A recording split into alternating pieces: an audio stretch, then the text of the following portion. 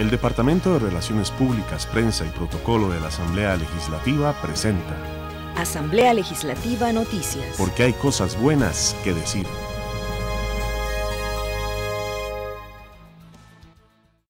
Gobierno devuelve al PANI dinero mediante presupuesto extraordinario.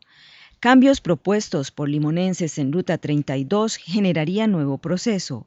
Proyecto de Justicia Restaurativa recibe aval en comisión y declaran beneméritos de la patria al doctor Carlos Collado Martínez y al expresidente Daniel Oduber Quirós. Vamos al detalle de las informaciones. Tanto Raymond Porter Aguilar como Juan Carlos Pérez Murillo, jueces del Poder Judicial y miembros de la Asociación de la Judicatura, aseguraron a la Comisión de Ciencia y Tecnología, donde se discute un proyecto para procurar la justicia pronta y cumplida, que acciones administrativas podrían ser suficientes para este fin o con muy pocas reformas. El artículo 41 constitucional establece, coloquialmente hablando, eh, tres... Eh, diríamos, las tres patas del banco que implica el derecho humano a la justicia, el derecho fundamental de acceso a la justicia. En términos más técnicos diríamos que se trata de condiciones necesarias que deben estar presentes, al menos tres, para poder hablar de justicia pronta, cumplida y sin denegación. El aspecto temporal es el que, pretende regular el código, eh, la reforma al código, que es la redacción del proyecto de ley que ustedes han sometido a consulta. Pero sin embargo, el, el tema, el, el, aspecto temporal o ocuparnos solamente del aspecto temporal, en los términos redactados en este preciso momento, eh, pone en riesgo eh, precisamente los aspectos cualitativos que es justicia pronta, cumplida. El proyecto en la forma que está planteada de por sí tiene un defecto que no ha sido, no ha sido considerado. No se consideró un transitorio a la hora de la modificación de la ley procesal. ¿Cuál es el efecto? Inmediato de esta, situación. En caso de ser aprobado en la forma que está planteado, entonces los asuntos que ya de por sí están programados a uno, dos, tres meses, tres años, eh, podrían entrar en una situación de impunidad ante la posibilidad de que tengamos que decretar la extinción de la acción penal por el solo transcurso del tiempo. Primer gran aspecto. Segundo gran aspecto que quiero eh, explicar. Los jueces no estamos en contra de una reforma de esta naturaleza, por el contrario, aplaudimos la iniciativa en el sentido de que debemos procurar justamente que la justicia sea pronta y cumplida y como dice mi compañero Raymond, eh, lo que sí se requiere es eh, una forma inteligente de poder hacerlo. Esto dejó serios cuestionamientos en los legisladores, como al diputado Ronnie Monge. Es una realidad de que el sistema es lento, que no hay justicia pronta y cumplida. De repente hay una iniciativa del Poder Legislativo que el diputado promovente lo que hace es establecer plazos porque es donde ve la reducción, pero porque no ha habido una respuesta de parte del Poder Judicial entendiendo que existen esos cuellos de botella para haber solicitado desde la iniciativa del Poder Judicial que se tiene para hacer las reformas necesarias para eliminarlos. El proyecto 20.181, Justicia Pronta y Cumplida, pretende poner plazos cortos para los procesos. Sin embargo, los jueces indican que eso más bien podría perjudicar el elemento pragmático de cumplir y ejecutar lo resuelto. Plantearon eliminar los cuellos de botella para desentrabar la gestión judicial mediante trámites administrativos como el manejo de agendas por parte de los jueces, limitar los tiempos para hablar y separar los debates unipersonales y los colegiados. El ministro de Hacienda, Helio Fallas, presentó el expediente 20.341, un presupuesto extraordinario que asciende a una suma cercana a los 79 mil millones de colones. Esta suma incluye una restitución de fondos al PANI por 47 mil millones. La diferencia, es decir, 32 mil millones, se distribuyen a otras instancias. El rebajo al PANI se dio a fines del año pasado, sin embargo, la Sala Constitucional emitió una resolución para que no se tramitara. Eh, este es el, este es el voto de, la Sala, en este caso fue la Sala Primera, a la Sala Constitucional, sobre el rebajo de los recursos del PANI. Eh, lo leo muy rápidamente, dice, en virtud de lo anterior se evidencia una inconstitucionalidad en el presupuesto consultado debido a la reducción del presupuesto destinado a la atención niñez, adolescencia y la familia, lo cual es contrario al derecho de la Constitución. Por tanto, se constata que el presupuesto ordinario y extraordinario, esto, se dividió ya en, en, el ejercicio económico del 2017, contiene un vacío de fondo inconstitucional. ¿Cuál es la reducción de un 45,96% de los fondos que legalmente le corresponde al PANI y que se traduce en la reducción del presupuesto? La diputada Paulina Ramírez expresó que el gobierno se había comprometido a rebajar 20 mil millones de colones a la deuda, sin embargo la promesa no se cumplió. A finales del año pasado, en mitad de la aprobación del presupuesto ordinario, eh, habíamos, ellos habían adquirido incluso vía una nota y un oficio del Ministerio de Hacienda, donde nos decía que en el primer presupuesto extraordinario iban a incluir una reducción de presupuesto por 20 mil millones, la cual no viene incluida, por el contrario, viene incrementado en 32 mil millones, en su mayoría con cargo a deuda, y eso pues va a incrementar más aún el déficit. El ministro admitió que este presupuesto incrementará el déficit fiscal. Eh, decir que estoy consciente que el presupuesto extraordinario tendría que ser financiado en su mayor parte por deuda. O sea, lo digo claramente. Segundo, por otra parte nos, va, nos afectaría el déficit fiscal de este año. Nosotros en este año, eh, tal vez los señores diputados, no, no sé si pudieron leer eh, una una noticia, bueno, salió la, semana pasada, en la cual decíamos que, que, en el primer trimestre de este año tenemos los, prácticamente los mismos indicadores o los mismos indicadores que el año pasado. Que el año pasado que fue el menor déficit en los últimos siete años, o sea, del producto del esfuerzo de, de Hacienda.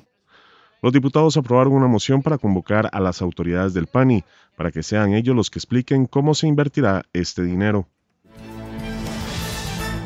El ingeniero del CONAVI a cargo de la construcción de la nueva carretera a Limón denominada Ruta 32, Kenneth Solano, aclaró a la Comisión de Limón y a los representantes de las comunidades de la provincia que cualquier modificación al proyecto requerirá de un nuevo proceso de aprobación del ente contralor.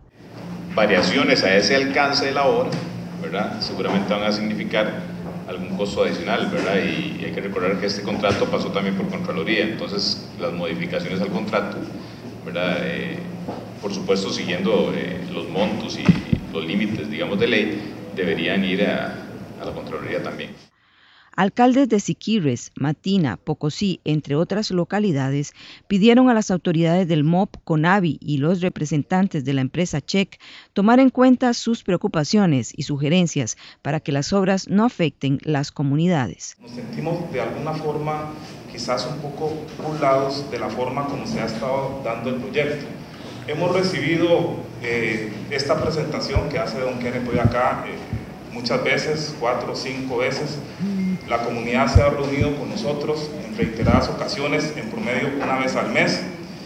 Eh, nosotros en ese documento, para resumir, en ese documento que enviamos a los representantes de CONAVI, estamos puntualizando algunas observaciones que nosotros consideramos que puede ayudar a, no, a que no sea tan impactante a nivel social y económico en el cantón de Siquirres. Ese primer proyecto de este tamaño que refleja una relación de cooperación económica entre los dos países.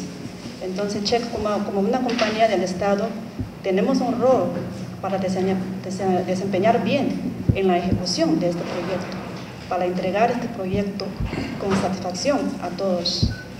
Eh, en ese sentido, sí, quiero agradecer en representación de la compañía CHEC por todos los esfuerzos mancomunados hechos por los señores diputados, diputadas, el señor funcionario del gobierno y las comunidades de la provincia de Limón. Nosotros estamos listos para hacer mejor dedicación para que eh, finalmente que este proyecto pueda salga felizmente. Entonces entendemos perfectamente que las inquietudes que tienen en este momento las comunidades sobre la facilidad de acceso para el pueblo según explicó la representante de la empresa Check, aumentar calles marginales, peatonales, iluminación, mover puentes implicaría modificar el contrato, por lo que harán una valoración económica de esas obras adicionales y negociarán con el CONAVI. Sin embargo, aclaró que las obras iniciarán el 15 de agosto.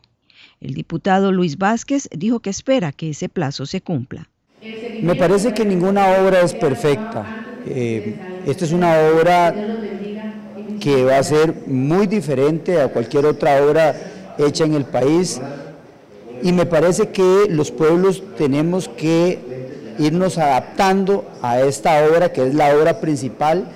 Lo importante aquí es que no quede ningún pueblo enclavado y estamos claros que eso no va a suceder, que todos vamos a tener salidas, ingresos y salidas, pero frenarnos eh, un minuto más es frenar el progreso de este país y es frenar a Limón. El ministro de Transportes, Carlos Villalta, dijo que están en la mejor disposición de negociar con todas las partes para una posible modificación contractual. Los diputados votaron a favor una reforma al reglamento legislativo que permitirá declarar como benemérito de la patria a cinco personas o instituciones cada cuatro años. Antes se podía declarar cuatro en ese mismo periodo. De esta forma, el plenario legislativo procedió a votar a favor el benemeritazgo de la patria para el expresidente de la República, Daniel Oduber Quirós, presidente en 1974 a 1978. Oduber impulsó la agricultura, mejorando el nivel de vida de los campesinos, promovió la creación de parques nacionales, impulsó las leyes de desarrollo social, de asignaciones familiares y protección al consumidor, entre otros. El plenario legislativo declaró como benemérito de la República al médico Carlos Collado Martínez, recordado en Bolonia, Italia y en Costa Rica como héroe por su participación como partisano durante la ocupación de esa nación europea por los nazis durante la Segunda Guerra Mundial. Tras participar como médico de la 63 Brigada Bolero Garibaldi, Collado murió junto a otros 13 partisanos en la llamada masacre de Caselecchio di Reno el 10 de octubre de 1944, asesinado luego de ser bárbaramente torturado por los nazis. El proyecto que aborda la instauración de la justicia restaurativa en el sistema judicial del país fue dictaminado por la Comisión de Seguridad y Narcotráfico. Este programa es una solución alternativa de conflictos con participación de la persona ofensora y de la víctima a través de reuniones restaurativas entre las partes con la finalidad de que se dé una prestación de servicios a la comunidad o se den abordajes socioeducativos, terapéuticos o donaciones. Que el plan de justicia restaurativa ya existe como plan piloto dentro del Poder Judicial. Es algo que dentro de la jerga de la legislación de abogados uno decía que es similar al RAE, a la resolución alternativa de conflictos. ¿Qué es lo que ¿Qué es lo que se pretende? Es que cuando hay un delito menor o cuando hay un joven involucrado dentro de la jurisdicción penal juvenil y se puede resarcir el daño a la persona cometida, se sientan a las personas, se soluciona el conflicto, se enmienda, pero además se le da alternativamente la posibilidad de que el joven si por ejemplo es algo de consumo o tráfico de drogas pequeño, pueda ir a clínicas de, socialización, de resocialización y además tiene que devolverle a la comunidad con horas de servicio el daño causado. La iniciativa se desarrollará mediante al menos tres programas que abordan a los mayores de edad, menores de edad y un programa de tratamiento a la adicción de las drogas bajo supervisión judicial. El proyecto pasará al plenario legislativo para su votación final. El Departamento de Relaciones Públicas, Prensa y Protocolo de la Asamblea Legislativa presentó Asamblea Legislativa Noticias. Porque hay cosas buenas que decir. Si tiene alguna consulta sobre el Congreso, puede visitar el portal legislativo www.asamblea.go.cr. Además, puede seguir las transmisiones del plenario en dicha web a las 2 y 45 de la tarde de lunes a jueves. En YouTube somos Parlamento CR. En Facebook somos asamblea.legislativa.costa Rica. Y en Twitter nos encuentra en arroba asambleacr.